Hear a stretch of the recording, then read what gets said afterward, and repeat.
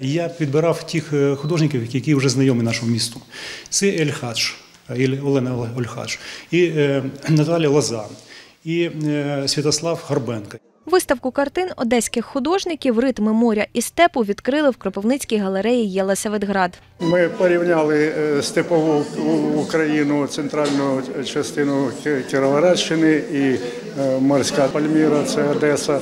І така прийшла назва. 30 робіт привезли сюди. Тут представлені роботи е, трьох напрямків: монументальна, живопис, графіка. Національна спілка художників України, якій виповнилось 85 років, і однією з основоположних є саме Одеська організація Національної спілки художників України, якій так само 85 років.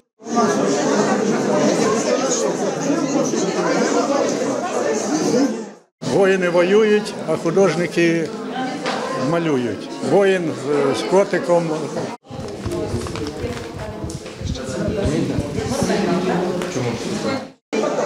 перші цивілізації, це Те, що видно з першого погляду, то звичайно впізнавана школа одеського живопису.